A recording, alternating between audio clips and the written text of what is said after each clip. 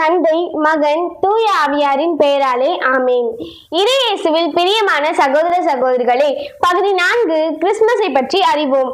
Christmas குடில் அமைக்கும் பழக்கத்தை யார் எங்கு உருவாக்கினார்? புனித பிரான்சிஸ் அசிசியார் ஆயிரத்தி எண்ணூத்தி இருபத்தி மூணாம் ஆண்டு கிறிசியோ நகரில் உருவாக்கினார். கிறிஸ்துமஸ் மரம் வைக்கும் பழக்கம் எங்கு உருவானது? ஜெர்மனியில் பதிமூணாம் நூற்றாண்டில் கிறிஸ்துமஸ் மரம் வைக்கும் பழக்கம் உருவானது.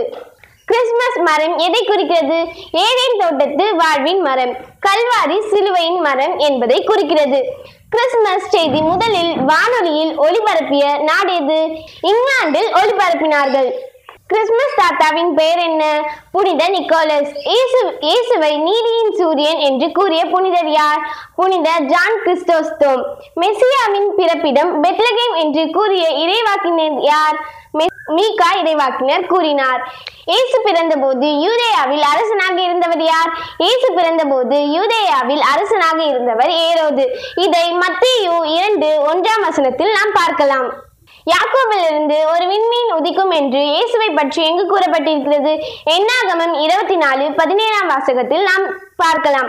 கன்னி கருவுற்று ஒரு மகனை பெறுவார் என்று கூறிய இறைவாக்கினர் யார்? எசாயா. இதை எசாயா ஏழு பதினேழாம் வசனத்தில் நாம் பார்க்கலாம். யோவானுக்கும் இயேசுவுக்கும் வயது வித்தியாசம் என்ன? வெறும் ஆறு மாதம்தான். இயேசுவின் பிறப்பு செய்தி முதலில் யாருக்கு அறிவிக்கப்பட்டது? இயேசுவின் பிறப்பு செய்தி முதலில் இடையர்களுக்கே அறிவிக்கப்பட்டது. நன்றி. பகுதி ஐந்தில் உங்களை சந்திக்கும் வரை உங்களிடமிருந்து விடைபெறுவது உங்கள் Riya saint James church Ponneri புனித அந்தோனியார் அன்பியம் bye bye. God bless you.